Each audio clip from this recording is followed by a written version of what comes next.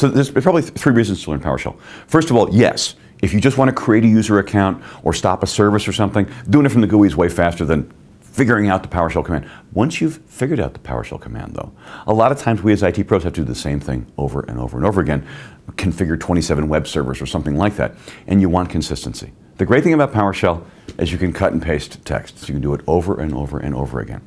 That's the first value.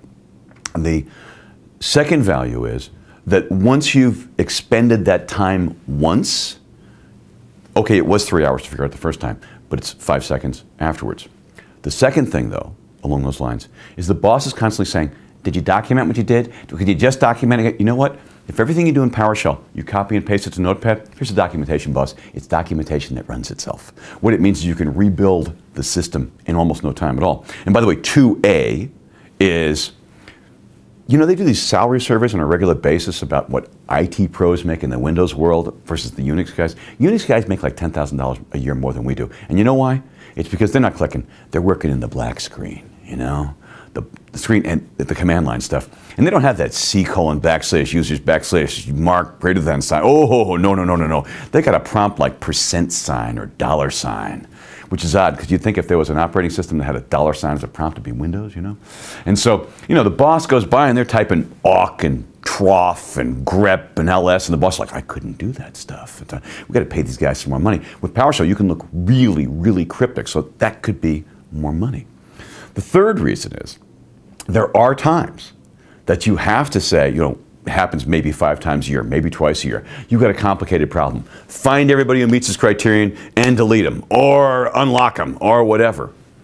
And you know, in the VB script days, that was three days, a lot of prayer and a lot of sweat. In the PowerShell world, we write a one-liner where we're taking one command, that's where we find the victims, and we feed them into the slaughter trough, or whatever it is, the filter and the hammer. And once you've done a few of those, when I'm trying to do this, what I do is I don't, I used to try to teach PowerShell. That was a big mistake. What I do now is I try to teach how to administer your, uh, your AD using PowerShell. And by the way, end up learning PowerShell in the process. And it's the simplest thing in the world to learn to glue them together. And by the way, that was three. 3A is, and this is important, Microsoft has this thing they do where once they decide to PowerShellize something, Exchange was first, and then one of the system centers and virtual machine manager, Active Directory. This thing happens where once they get the PowerShell religion, about 15% or 20% of what you want to do, you can only do with PowerShell. If you want to turn on the Active Directory recycle bin, which is an awesome feature, it's a PowerShell command that's longer than me. And you got you have to learn that much PowerShell. The Active Directory recycle bin appears. Wonderful stuff. Undelete users only works with PowerShell.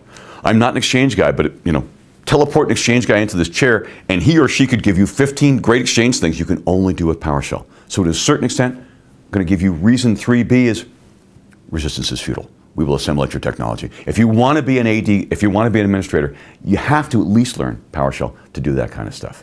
Oh, and in the end analysis, once you are comfy with it, and it's so easy. That's the thing. Okay, this is four. I told you three. No one expects the Spanish Inquisition.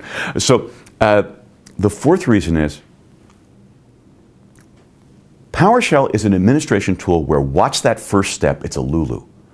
But when I do what I'm teaching people, is we spend forever on get-ad user, which is the first PowerShell command. Once you're past that, we are blasting through the rest of the commands. Because like oh remember that remember the dash confirm? Yeah it works here too. And remember the uh, the dash what if? Works here too. And oh by the way remember the dash? And, and this is how we find the positional parameter. All that stuff just falls into place. You spend an hour on your first PowerShell command and 15 seconds on all the others